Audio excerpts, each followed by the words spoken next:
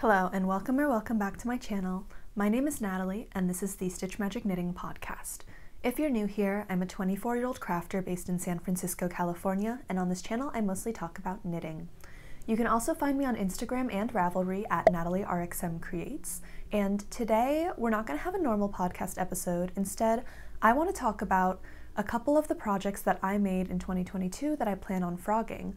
To start off, I'll talk about what I'm wearing. I'm wearing my Sunday sweater Mohair Edition by Petite Knit. I knit a size extra small.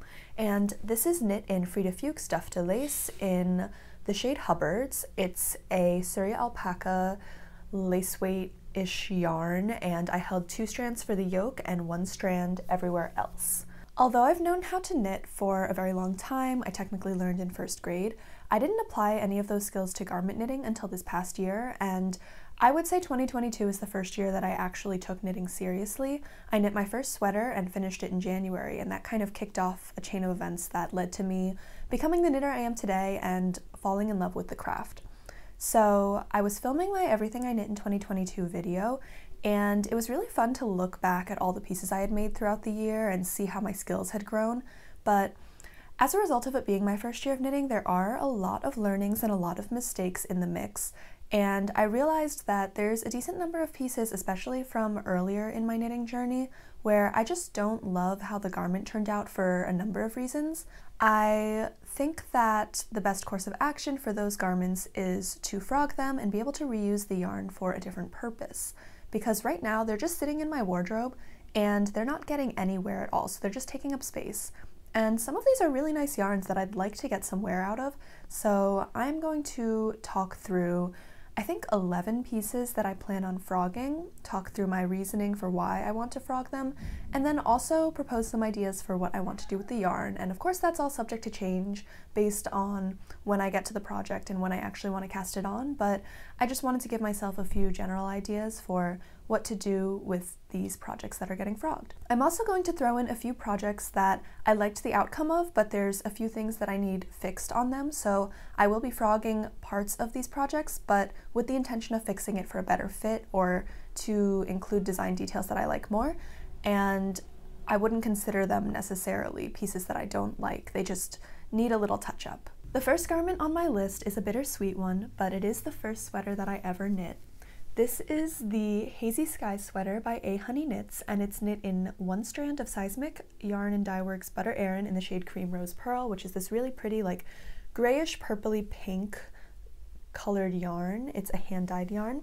And this sweater actually kind of has a long story, so I technically finished it in January of 2022, but I had the yarn a long time before that.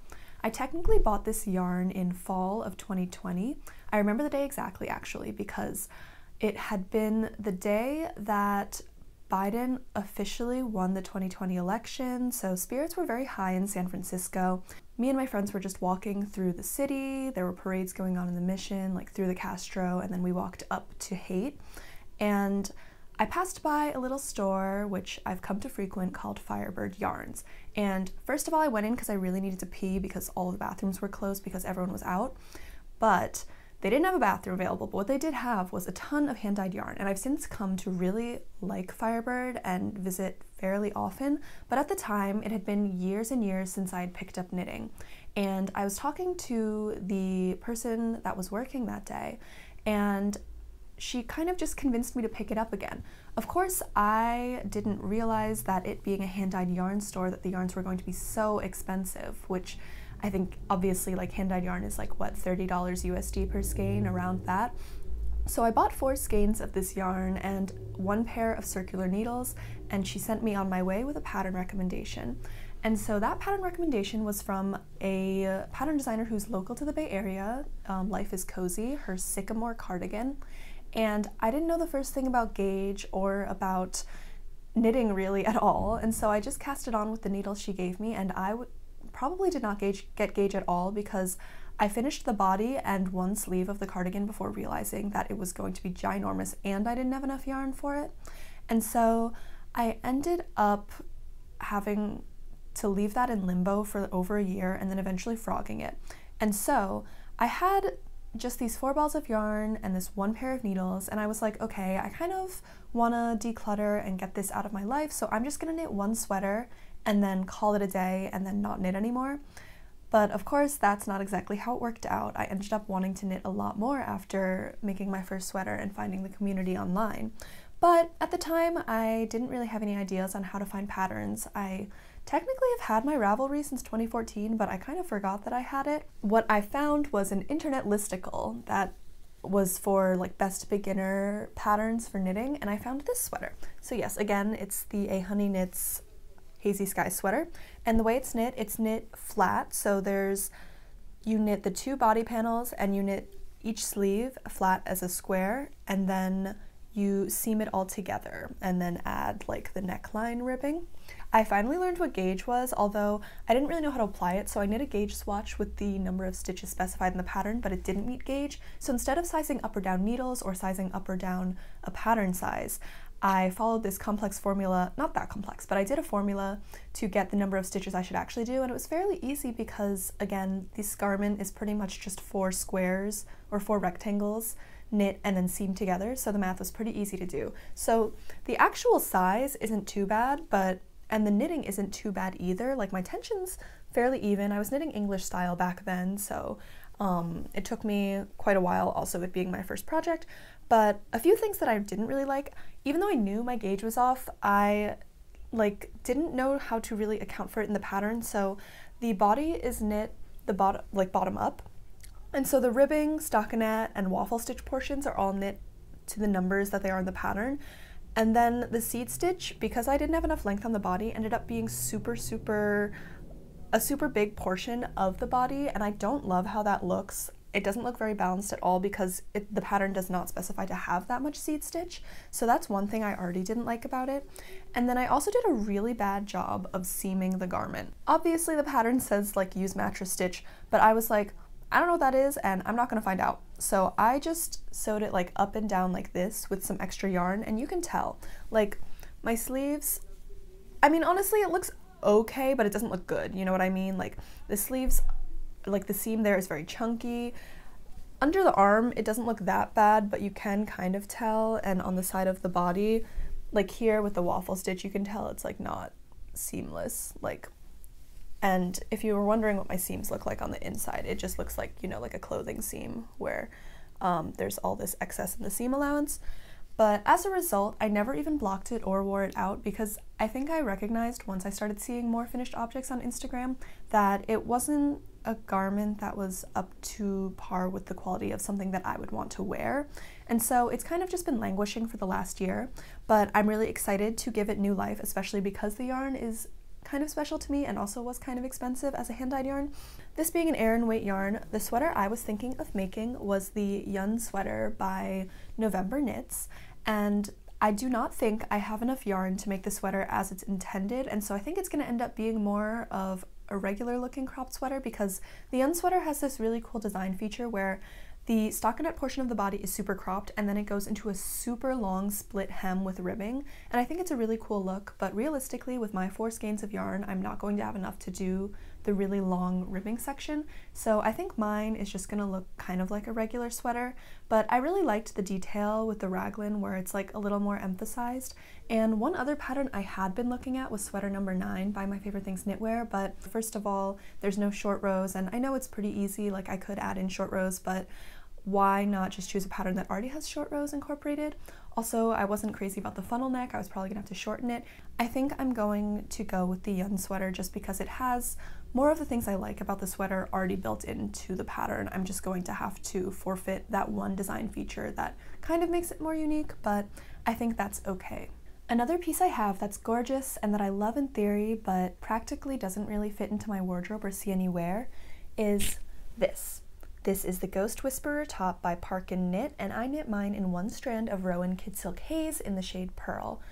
The modifications I made are I shortened the puff sleeve and I also only did the I-cord with one strand of mohair for the armholes, whereas it's used with two strands on the neckband.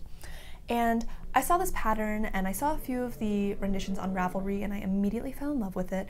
I think it's super cute and in my brain I was like, oh, there's tons of things I could wear this with. I could like my plan was to knit like another like thin tank top or like cute bralette to wear it with or like layer it over dresses. But in the time since I've made this piece, I just have found that I haven't worn it at all. And part of it is because I never got around to making those undergarments or like those under pieces that I was going to wear with this.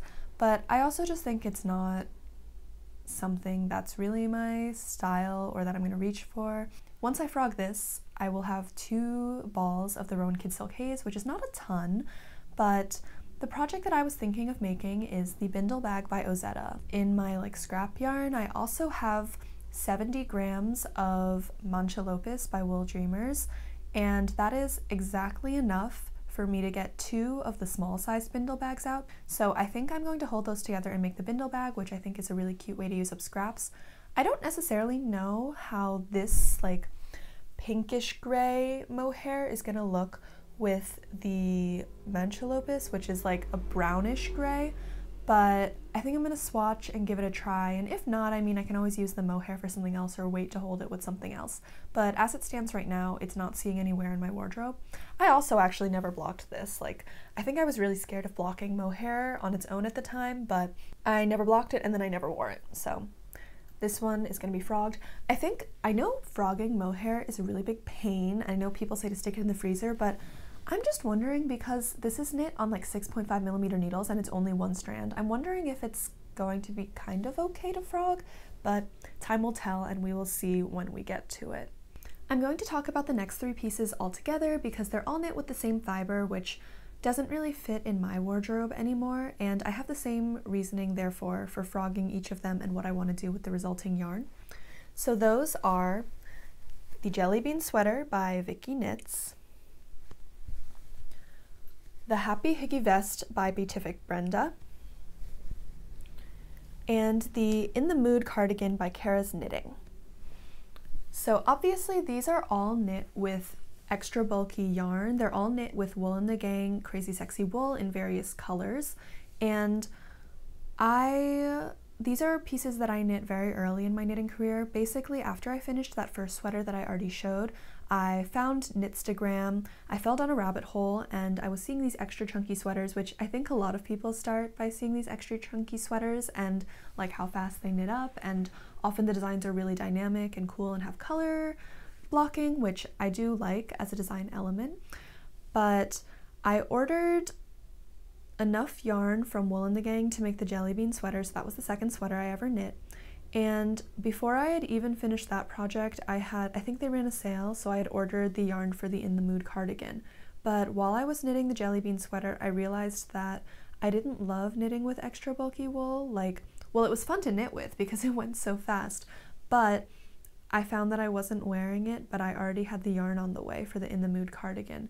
The jelly bean sweater it was my first Intarsia project also, which I think was pretty ambitious for someone who just learned how to knit their first sweater and so there were a lot of mistakes made. I read the chart backwards and had to redo an entire body panel for it to match up at the side seams. I think I've only worn it once or twice. I really like the vibe that the designer was going for with all of this Intarsia color blocking. I really like the colors I chose. I think it's really cute in theory, but I mean, Practicality wise, in San Francisco it rarely dips below like 40 degrees Fahrenheit, so there's really no need for me to wear a sweater like this, especially when I can't even fit it under any of my coats.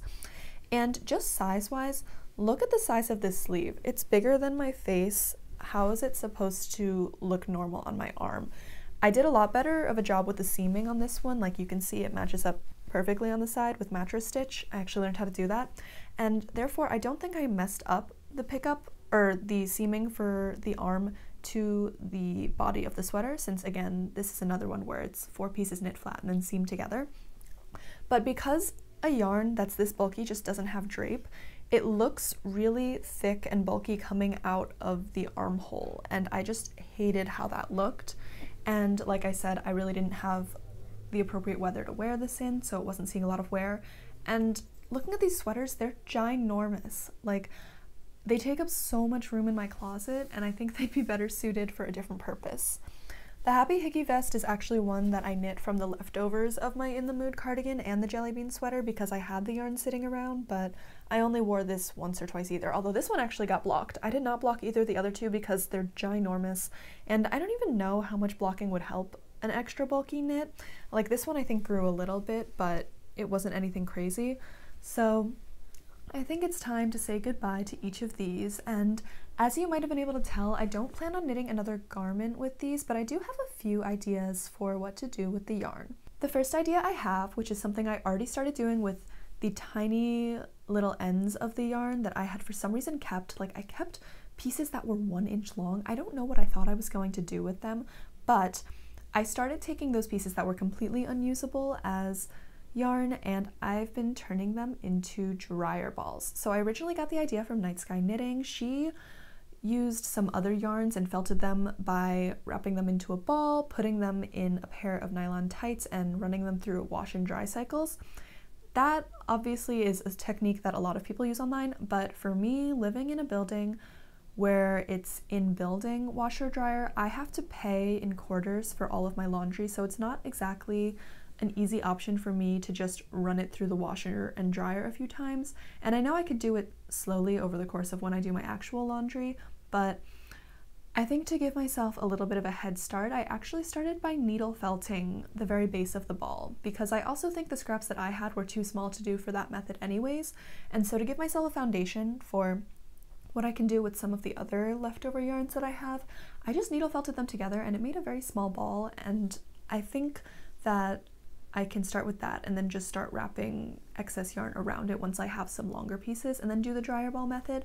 But I'm really excited because I do use those balls, I mean, every time that I go to wash my clothes. So it would be exciting to have a few more because I've actually lost a few of my balls. And for them to come from a material that I already have in stash is great. That being said, I think since the yarn was a little pricier, I don't necessarily want to just turn all of this into dryer balls. So my other ideas were to make housewares. My first idea was to knit a blanket, and I know that blankets with really thick roving style yarn also don't tend to hold up that well with wear, like they pill a ton. So I was kind of moving away from that idea. I was like, the other idea is like pillowcases, kind of the same problem, but maybe a bit of a smaller scale of the issue.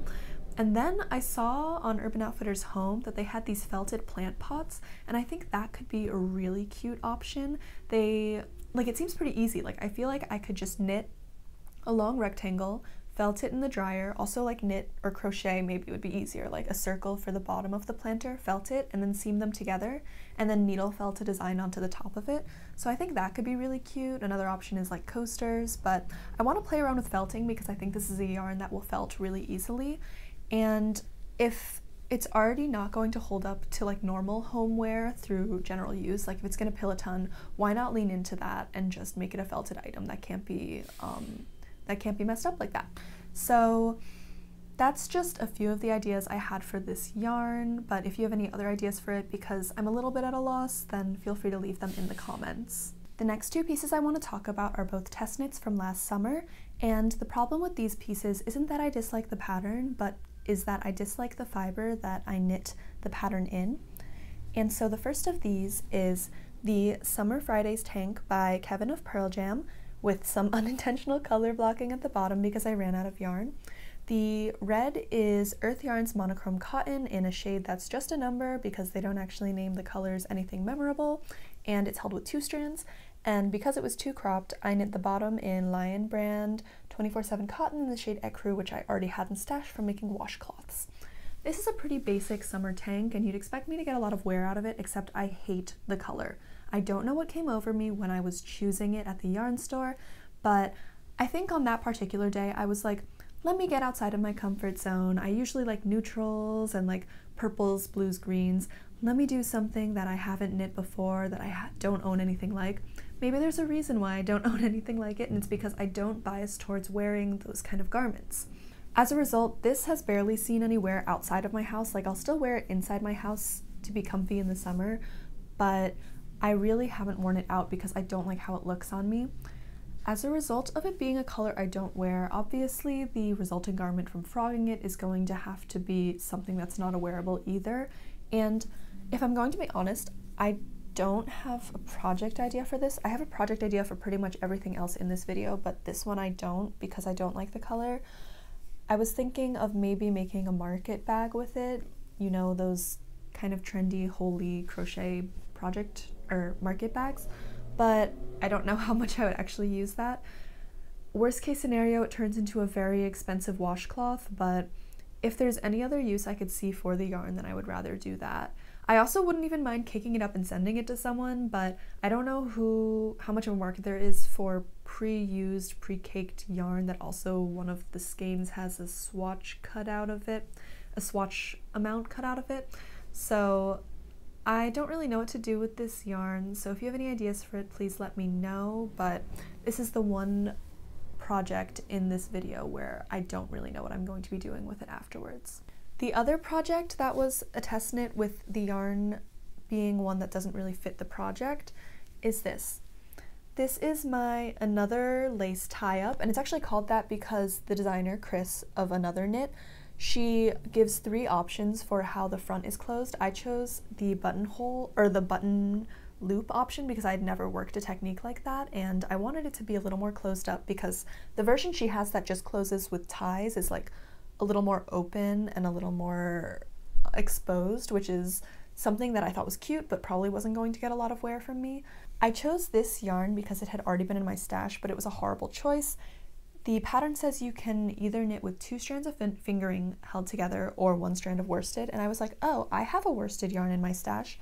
This is Manos del Uruguay Maxima in the shade Stratus, and it is like you can see it's one of those single ply very warm fibers that's very reminiscent of the extra bulky yarns that I already showed previously. As a result, it makes for a, a, very bad summer top because it's so hot. And also, I did do my gauge swatch, but when it blocked, it blocked a lot bigger, and I assumed that having knit it in a cotton or a merino yarn would give it more drape, but instead mine looks very boxy on the body and it like hangs down where it doesn't fit to my body, so it looks like the fit is kind of off.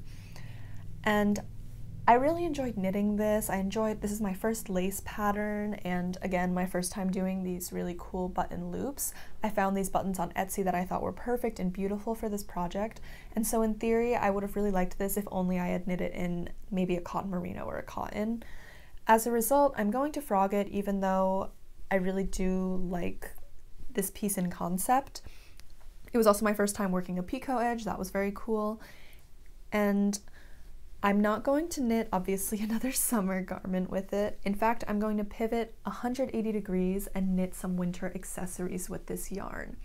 This yarn, while being a blue, which is in my color palette, is still very bright for me, and I only have two skeins of the yarn, which doesn't feel like enough to knit a sweater or something where the fiber is more appropriate. I could probably knit a short sleeve or another tank top, which is not what I'm going for here.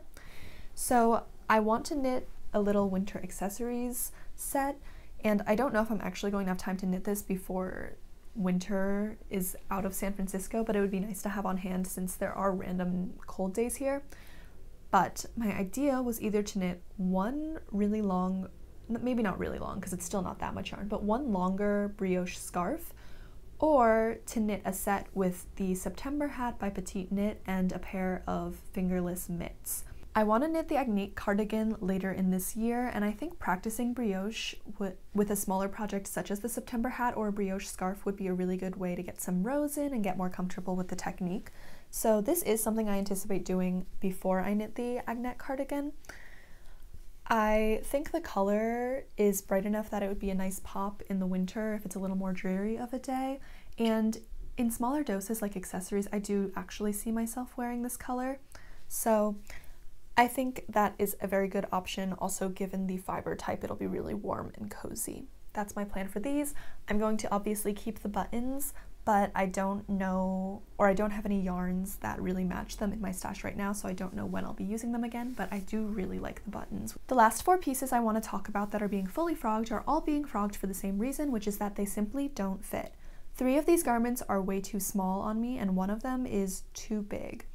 In the case of two of these garments, I actually plan on re-knitting that pattern or a very similar take on that pattern with the same yarn because I do like my fiber choice and my pattern choice. It's just that they don't fit the way that I want.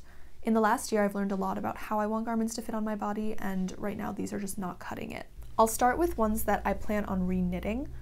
The first is this. This is my Aosta cardigan and it's knit in petite wool from We Are Knitters in the shade Colorado. I really like this and even though it's way oversized on me, I still do get a lot of wear out of it. I think I would just like it a lot better if it was smaller on me. And since I already get wear out of it, I know that it would be valuable for me to knit it at a smaller gauge. The problem with this is that even though I knew about gauge, I just assumed I'd be on gauge. I don't know why I assumed that seeing as the pattern calls for it to be knit on 7 millimeter needles and I didn't have 7s because I don't think they're commonly included in interchangeable sets here in the US at least.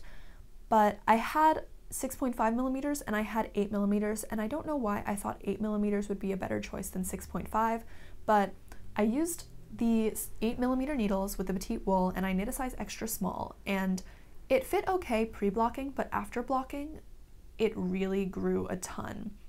Now it has a very slouchy, oversized feel, which can be cute, but especially in the arms, I think it's just a little bit too oversized and I might also knit it actually a bit longer. It's quite cropped on me right now. If I have another chance to frog and re-knit it, I can make these modifications for my body. I know she also released an update to her Aosta pullover with short row shaping in the back of the neck that would help. I don't think she's released an update for the Aosta cardigan, but maybe I can also figure out a way to add short rows in so the fit is a little better because I do feel it riding up a little in the back even though it is a cardigan and the fit is a little more forgiving in those cases. That is one that I that's one piece that I do love having in my wardrobe. I just know that it could be better.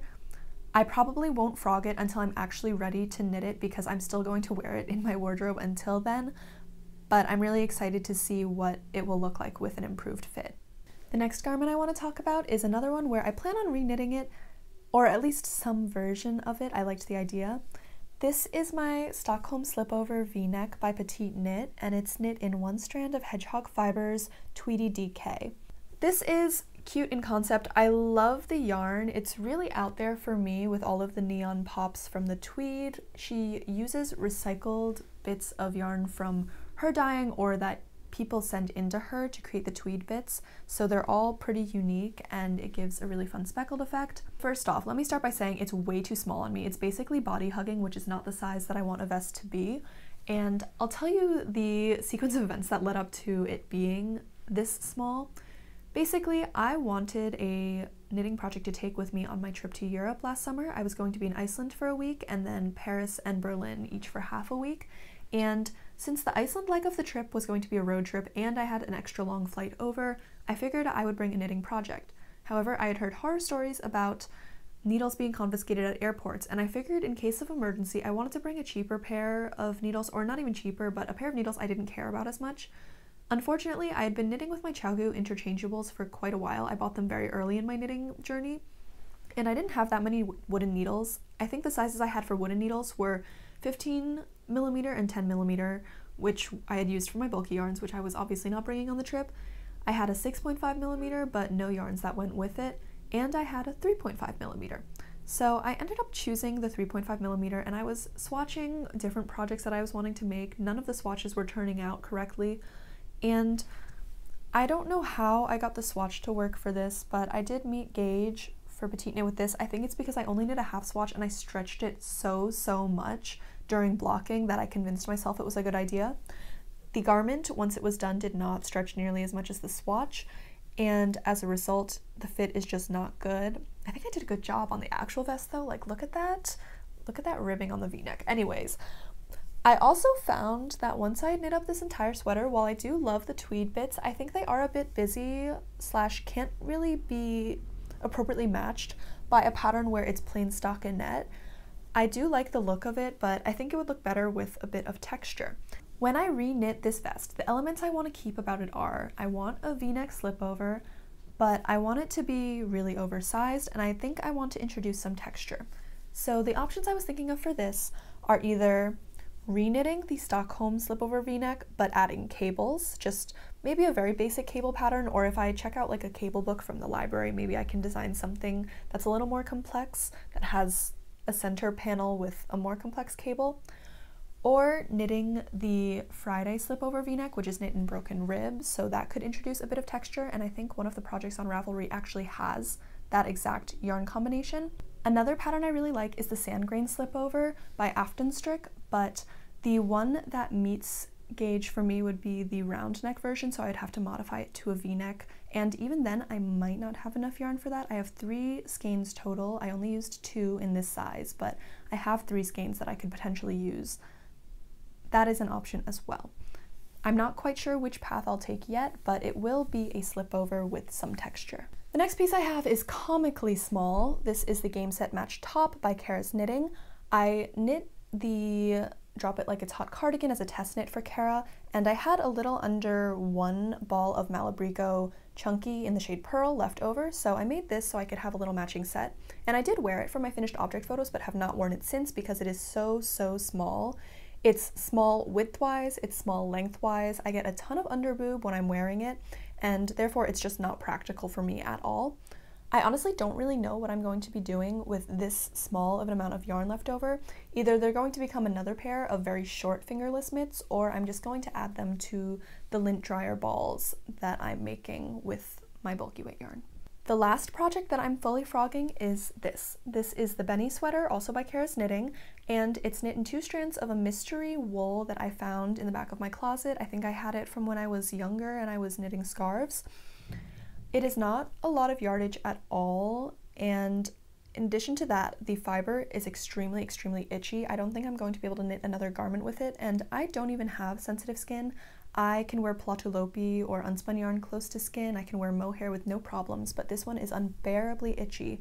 It also comes right below my bra band, so even I like a cute crop top, but it's way too much even for me.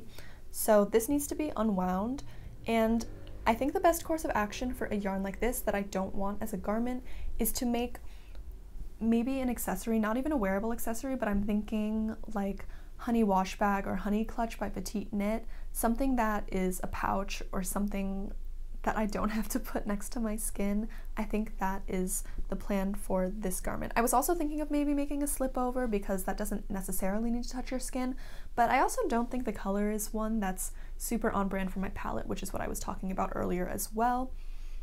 Therefore, this one gets to be a cute pouch or a bag or accessory. Lastly, I want to talk about three pieces where I actually do really like my finished object. I just think it could be improved by frogging a portion of the project and re-knitting it. I think they could get more wear in my wardrobe, although I already do really like the finished objects. The first one is this.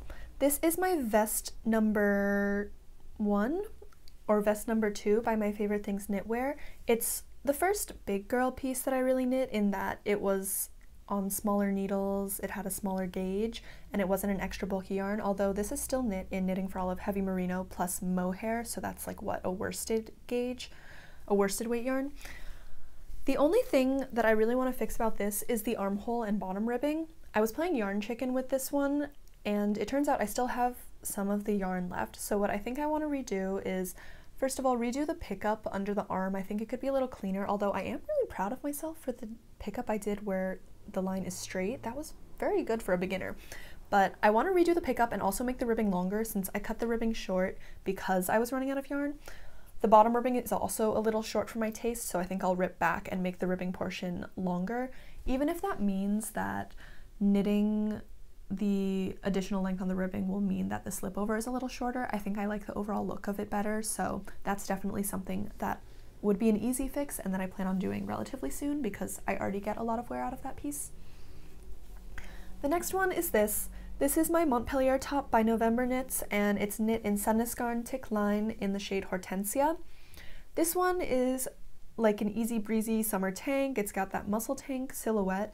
The one gripe I have with this is that the armholes are quite deep and I get a lot of side boobs, so I kind of need to wear something under this if I'm going to wear it. My solution to this is that I will rip back until a higher point in my underarm and then knit in the round down the side and finish it off like normal in the pattern. That way I can just wear it on its own as a tank and be more comfortable wearing that. I've also worn this as a summer slipover because it is a, I think, cotton linen yarn and it's a lot cooler than wool for the summer. So I've worn it over a t-shirt and that also works, but I would really like to wear it as a tank, which is its original purpose. So knitting the armhole depth to be shorter will help with that. I did think about possibly just sewing it up, but I don't think it would match the ribbing pattern that goes down the side since there are an additional one or two stitches that are cast on.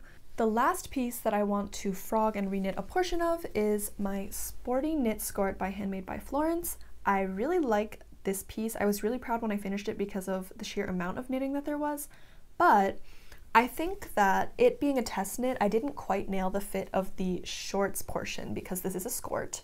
I think the shorts are just a little too big and you can see them when I'm wearing the skirt. You can see them bagging up a little bit, especially in the crotch area.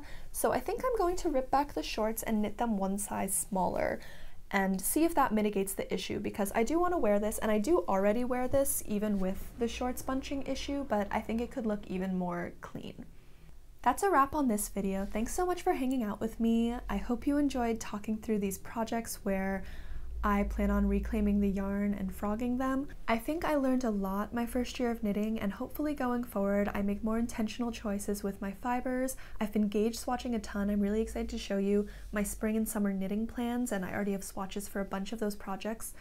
I think swatching in general is something that would help with a lot of these fibers, just recognizing what does and doesn't work for a garment or how a fiber will grow or not grow when it's finished. I hope that 2023 is a year with a lot more intentional knitting and that I don't have to frog as many garments next year, but I'm going to be pretty easy on myself because it was my first year of knitting and I learned a ton even though some of these would be considered failures. Thanks for hanging out and I'll see you in the podcast at the end of the month. Bye!